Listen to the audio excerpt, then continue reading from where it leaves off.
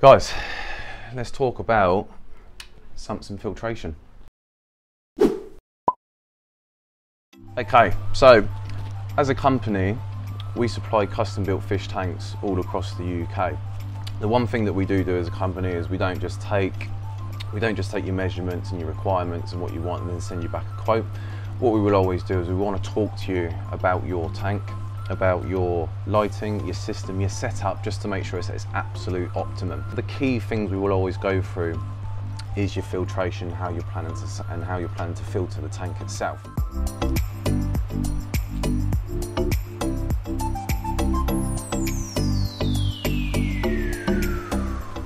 Anything over a 300 litre tank, I will recommend to sump the system, go with a sump filtration. Now, one of the most common questions or responses that we get with that is usually I've always wanted to go with a sump, but I don't know what I'm doing. I've always had canister filters, so I'm not too sure how sumps work. Uh, sumps scare me is one we've, we've had before. So usually with them customers, what I would do is I put together a video just giving a quick tutorial of how a sump works, how you can set it up and obviously how much more it benefits. Now, what I wanted to do is the first video I wanted to put up on the YouTube channel was going through setting up a sump, how they work, and how they can benefit your tank. Now what I will do as well is at the end of the video, I'll go through my sort of key reasons as to why I would always recommend a sump over canister filters um, and my key and main reasons why for me personally they are much better than running a canister filter, especially on larger tanks like these. Okay, filtration. Now, usually when you order a custom built tank, anything under five foot will come with a free chamber sump. Now, your tank builder should recommend this, um, or not so much recommend it, but they will turn around and tell you how many chambers your sump is gonna have. Guys, just remember on that note, when you are ordering a custom built tank, you can completely customize how you want this sump to work.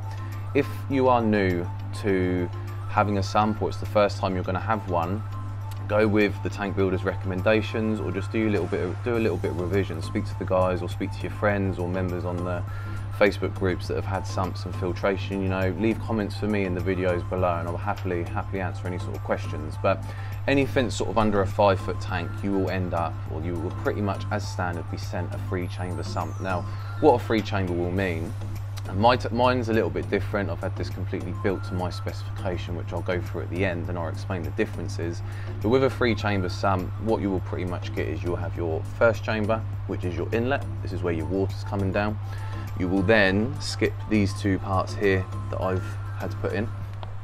And you will then jump into your media chamber, which is your third chamber, uh, sorry, your second chamber. And then you'll have your third chamber, which is your outlet. So you can see here the pipe work just going up, running back up into the tank. Because usually when you have a three chamber sump, what you will do is on your inlet, which is this chamber here, you will just run your sponges underneath the pipe pipework, okay? Or some people now are starting to run them vertically. The difference that I had done to mine is I wanted an overflow to then fall down through my sponges okay and I've got a little bit more media down the bottom there as well so the difference of between mine that you won't see on a say a standard three chamber. Sump is you won't have I had this custom built to a nine inch and I specifically wanted sponges on here. Now what would usually happen on that three chamber sump is you will have inlet and you will have a break here okay for an underflow and that will then carry into your media chamber. Now one thing personally I would always recommend and it's the way I've done this, is when you have a standard sump come through, what it will usually do is you have a downflow that go through the sponges, and then what you will have is you will have a second pane here, which will then cause the water to come back up and over the top. Now, as that carries across the top, what will then usually happen is it will then do this, and then this is pretty standard on a three chamber sump, it will then flow back down and into the thing. These guys are hungry, waiting for their dinner. Beautiful. Now, one thing I'm not a fan with that is, for me, when, when the water is coming back up and over the top, for me, too much water can carry over the top of the media and back down. and into the tank, meaning it can completely skip traveling through, even though it's gone through biological filtration in the first chamber, uh, sorry, mechanical filtration, it's going to miss the biological filtration. Obviously not all of it, but going, there's going to be a percentage. So one thing, again, going back guys, you've got the opportunity to custom build the tank. So the main thing I wanted to do on this one was I wanted an over, under. I've got a K1 chamber so it travels through. And as you come back to here, it comes back down and it actually flows up through the media. So all the water has to pass through the media to then flow back down and back into the, into the return pump.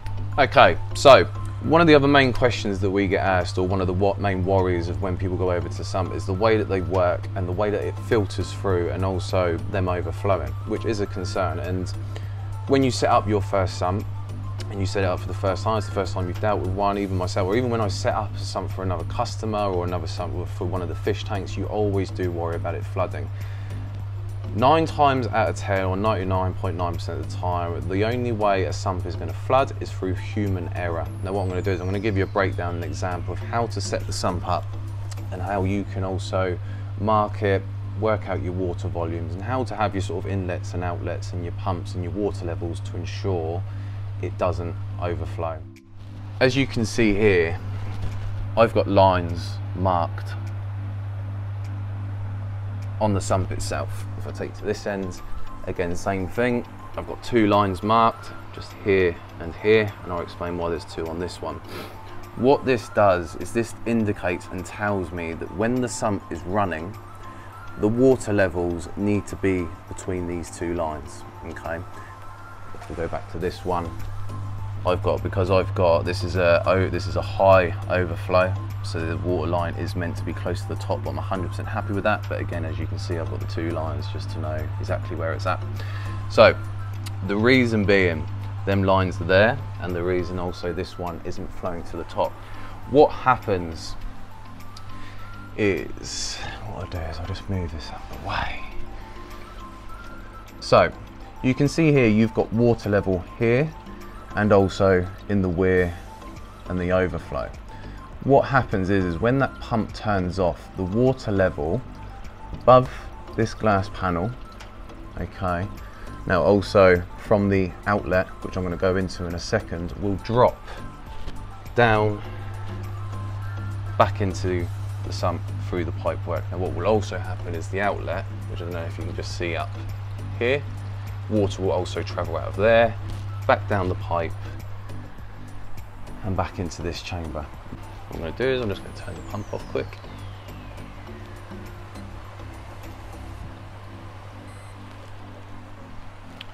So as you can see what will now happen, it's just my auto top up going off. I'm just going to turn the K1 off quickly. But what will now happen is the water volume that is above the overflow will drop back down into the sump, but I know because the original lines, the water level when running, was in between these lines, it physically cannot overflow. Okay, so if you ever have a power cut, uh, you obviously need to turn the pump off for your maintenance. There is physically not enough water above that overflow to fill up the sump. Okay. Now, like I was saying before, with human error, here's my line, my safety line. If my tank is filled up to here, as you can see, that is filled up from there to there. If my water was running at this level and I were to turn the pump off, it's coming straight out the top, okay? Again, human error. When you first set up a sump and you start to work, work around and play with it, you will, this one of the things is, is you will have to work all this out. So I'm just gonna start that again.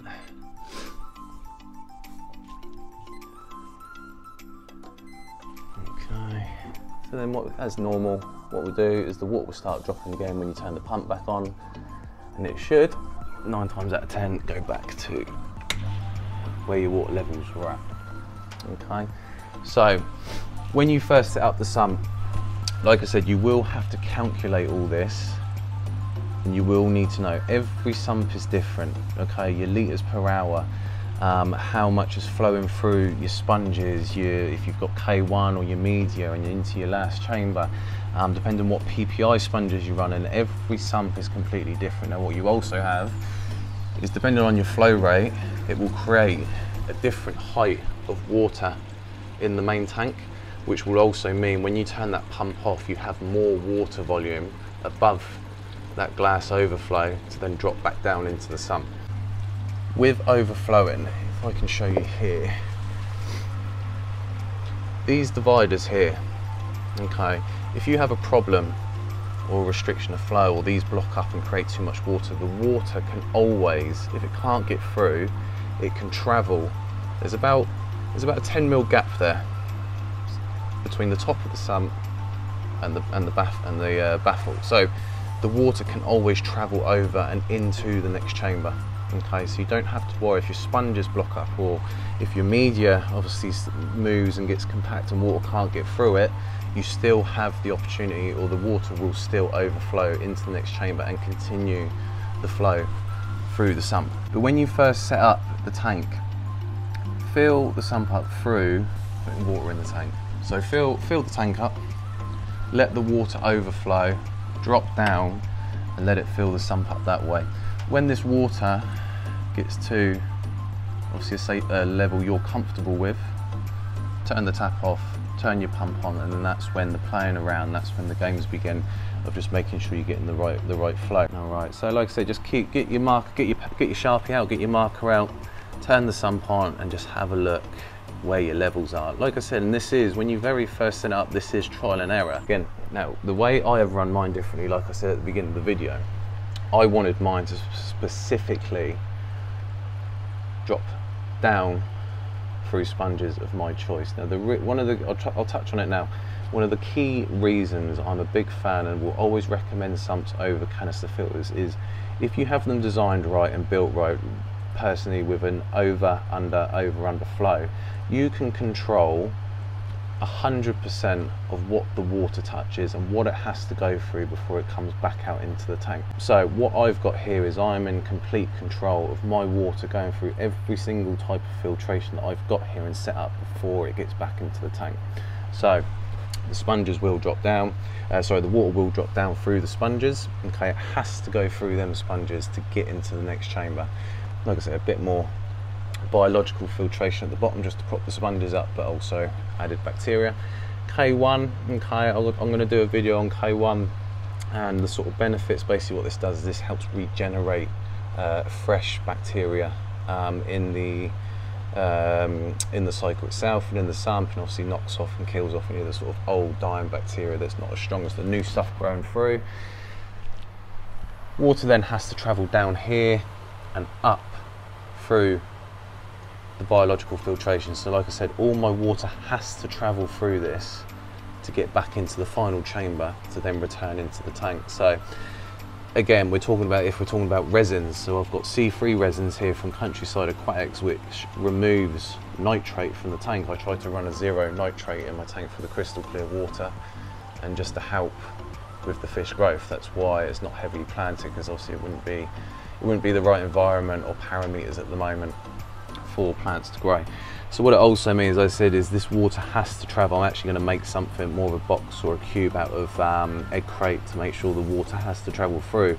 But like I said, all the water has to travel through or past that C3 resin to get then get to the return pump. So one thing I was going to touch on was my key reasons as to why I would always recommend a sump filtration over canister filters. Now, I think the main thing is I think everyone really wants to run a sump system because like I said the benefits just completely outweigh canisters. Like I said canisters yes they are cheaper to set up initially. They are obviously easy to run. You put the pipes that you put the media in the in the chamber uh, sorry put the media in the canister put the pipes into the tank turn it on off you go. You're up and running. Yes there is a little bit more of initial playing around and teething problems when you first set up a sump just to get all the flow rates and the water levels correct but like I said, once you get them first two, three months out the way, you will be a master on your sump, oh, especially on yours. You will know if a problem, if a water level changes in one of the chambers, you'll know exactly what the issue is. If if it's not functioning right, or the the water level in the last chamber where the pump is is is too high or too low, or the same with the first chamber. Like I know if this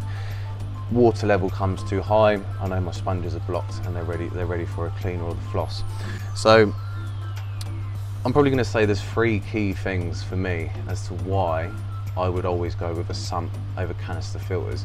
First thing, like I mentioned earlier in the video, is you have complete control over what your water is touching, going through, to then get back into the tank. So for me, I know, like I mentioned, all my water has to go through the mechanical filtration of sponges. It has to, it has to be fine tuned, it has to have all the mess on the, and the muck and all the particles removed from the water. Like I said, with it, with obviously with my setup, I have full control. The water has to go through uh, the sponges, it then has to go through the K1, it then has to travel up through the uh, media, and then before it then gets to the return pump and comes back out into the tank. So I know what water is coming back out into that tank has been completely, has gone through the nitrogen cycle, it's come in contact with media, uh, uh, the beneficial bacteria, the sponges, it's been fine tuned, it's gone through the resins, if there's anything you want to take out of the water, if you've got your carbon in there to remove medication, um, whichever, whichever it may be, like I said, I use C3 resin and sometimes I use some phos uh, phosphate remover. Um, like I said, I know I'm in 100% control of what my water is doing as it goes through the filtration. Second thing, and I think it's probably one of the biggest benefits from an aesthetic point of view, is you have absolutely everything inside that sump. So you don't have to have anything in the tank whatsoever. Inside the tank itself, there are no heaters, there are no wires, there are no pipes, from the canisters, from the inlets and outlets, there's absolutely nothing inside the tank. Okay, all you've got, or all I've got is sand, decor, plants, rocks, and the fish. Okay, so you don't have to have any eyesores, you know, even if you don't have a painted background, there's no wires hanging down the back. You know, if you've got as, as an example, if you've got lights on there, say a tank this size without a sump, if I had lights on there, that would be three or four uh, wires hanging down the back from the lights. We're talking maybe three or four heaters. So again, that's another three or four wires. You would be looking two canisters. So you'd be looking two lots of pipe work, uh, sorry, four, four lots of pipe work hanging down the back, you know, look a real eyesore. So like, like I said, everything is placed in the sump. So you have heaters, Okay, all my heaters are in the sump. Just a little back here, just got an hang on or a stick on uh, filter running for if I ever need to QT, um, quarantine or hospitalise or grow out a fish. You know, that's always running, that's always cycled. Again, I don't have to run it up in the tank. It's just nicely hidden away. Okay, so I've got my heaters, obviously a backup filter if ever it needs to be done. Okay, we go. I've got my UV okay again all hidden away all running all this is running into the sump again. So there's no again if you're running a UV if you run a closed loop system on the tank itself you don't have to have the pump in there tucked up in the corner and then a pipe kicking the water back into the tank or down into the sump again it's all hidden away. I've got more heaters down here Got all my resins okay? Everything is in the sump which then allows you as a tank to just have, like I said, nothing but fish, decor, sand, plants. Okay, so the third reason what I, why I would always go over a sump is just the general ability to filter and turn over water. I have roughly about 50, well I have 50 litres of Sira Siporax media in this, so we're talking roughly, probably look at, looking at about 15 kilos, maybe a little bit more, maybe about 20 kilos of uh, media. I've got 50 litres of K1 in there as well, okay? And then also you've still got sponges on, that, on top of that as well. This tank would probably need a minimum of two FX6s to turn over the tank adequately. Now you're only looking inside that, even if you'd have to go out and buy more media than the FX6 actually comes with, but you're only going to be looking at a maximum of about I think it would be seven or eight kilos if you are lucky in both the filters, canister filters, FX6s combined, okay? I've got four, five, six times that amount in this sump. So I know that I've got an adequate amount of media, biological and mechanical filtration to filter this tank correctly and stock it as much as I want.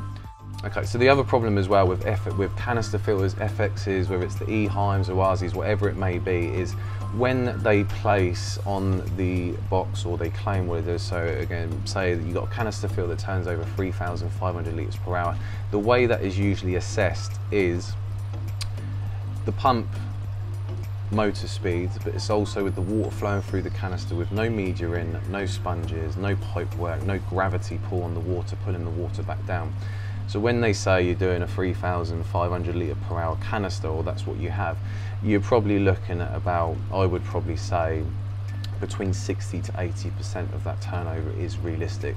Especially again, once you start to pack in more media, because a lot of the, a lot of the uh, canisters come with a lot more space because they don't always send you enough media to fill up the chambers with. Um, you start to put filter floss in there.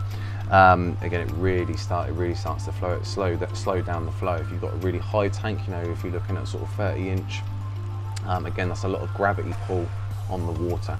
So again, the third sort of benefit for me, like I said, with the amount of filtration and the water volume turnover is obviously you can buy pumps. Um, sort of the if you're looking at the sort of TMCs, you know, there's pumps running up to sort of 12,000 litres per hour. Now, you may not need it, but it's good to have that turnover, capability of up to 10 times per hour. Your 6 to your 10 times per hour tank volume turnover is your optimum turnover. So I run this at about, I run this at about eight, eight or nine times per hour. I know it's at its optimum, and like I said, I've got the pump that is capable of doing that.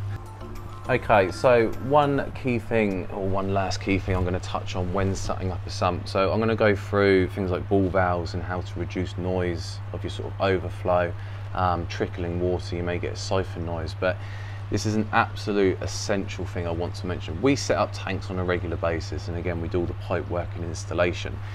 Now, one thing that is easily forgotten about is, as mentioned before, the water level, when you turn the pump off, the water level that's above the glass overflow will drop back down into the tank. Now what you will also have is your water level will be above your outlet. Now this is absolutely essential. When you turn your pump off, the water that travels back down through the outlet will create what you call a back siphon. So what that means is that will continue to pull water out of or through the outlet, which will then drop down into this chamber because it will come back down through the pump. So an easy thing to do, these guys worried about what I'm up to. An easy thing and an easy mistake to do is have this outlet facing completely down or too deep within the water. So when that pump gets turned off and it creates a back siphon, even if the water level has dropped below the glass overflow, if this outlet pipe is still submerged, the back pressure will then continue to pull water out of the tank. So what you need to make sure, I'm going to try and do this, sort out my ladder so I can show you. What you need to make sure, I'm going to try and do this as quickly as possible, is when the pump is turned off, Okay, I'm now going to show you what's happening up here. As this water starts to drop, so you can see here that the back pressure is starting. What's going to happen now, and the essential thing you have to do is you have to make sure that you create just maybe about 10 mil gap between the top of the pipe, okay, on the inside and the water level. Once that gap appears, what that does is that will then will release the back pressure. So it will stop the water being pulled back out of this pipe. So if that outlet was like that, so still in the water, completely submerged, that would continue to pull water until that gap appears, okay? So like I said, enough gap just to release the air out the outlet. Okay, so start of the process. Outlet you will always have coming up through the weir, kicking water back out into the tank. You've got your inlet, which is the pipe here. Now this third pipe is just what you call an overflow. It's, ignore the sponge that I've got in there. That, is, that was me just playing around with flow uh, the other day. And so what this does is you only usually, nine times out of 10, have an overflow pipe if you've got a ball valve, because obviously this then raises the water level and it allows that safety if you turn it too much, to restrict the flow too much, water level comes too high and it just allows the water to drop back down into the sump. Brief touch on noise. Two of the most common issues you get with, again, having a sump filtration is the noise, and some people don't like it. Um, you get the trickling water, um, or you get siphoning noise, or you know, like when you flush the toilet and the, and the water is traveling down the toilet itself. So them two, them two, them two noises are caused by two things. One, you've got your drop level of your overflow. Okay, this is a little modification I've made just to help reduce that. And then what you also have is, like I said, the suction being caused from the pump will create a swell and again an air suction down through the inlet. So this is your inlet pipe here. Okay, this is obviously where your water drops down into the sump itself. One of the key things you can do is ball valve. Okay, there's, there's two there's two things you can do with the siphon or the suction noise. Okay, the first first one to look at is a ball valve. Now again, as a custom built um, specialist or anyone else that you may be ordering from, double check that your pipe work. If you're ordering the pipe work with them, okay, or like I say, if you're going out to do your pipe work, get your ball valve on your inlet pipe. Okay, so this is the pipe where the water is falling down through. Okay, now what this does is with this you can reduce the flow so you can see it's slightly twisted now what that then does is it raises the water level that is in the weir so then it creates such a height there's no air being sucked in and it stops that siphon noise okay so for me so like I said these bubbles that are coming down now as the weir is filling up that's just the air being sucked in because the water level in the weir isn't high enough at the moment but what this has now done is reducing the flow with the ball valve. It will now create a higher water level in the weir, which will stop that suction noise. Okay. Now the other option that you have is you can get something called uh, uh, Durso, um, invented by an individual over in America. It's named after him. Um, in the UK, you can get them from. I've just ordered one myself. You can make them. They are easy enough to make. Uh, but uh, Endia Quacks can send them out if you know your pipe work. All that is is effectively it is just a U-shaped pipe that sits on your inlet pipe and what that does is it stops air being caught into the pipe and it pulls pulls just watered down. So to give a quick rundown of the way I've set mine up and the reason why I've set out, I had a, a customer Martin message me yesterday as to how to set the sponges up. Now there's a key way that everyone does it and what you will usually have is you will have your standard foam coarse or fine foam and then you will have your filter floss at the bottom. I do things a little bit differently for two main reasons. One, for general maintenance and how often I have to wash or clean the sponges and also how often I have to clean the rest of the sump, which at the moment is none. If you're in the marine industry, you'll see it on 99% of tanks. The water will come down through the inlet pipe and it will first come in contact with a filter sock or some form of roller um, and the water will be fine-tuned before it touches anything else. Okay, the guy you, you, tend not to have sponges at all whatsoever with marine tanks because again they they just wreak havoc with your water parameters as they build up and collect stuff.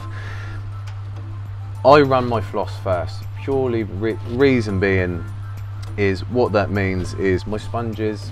Okay, yes, it does defeat. It does.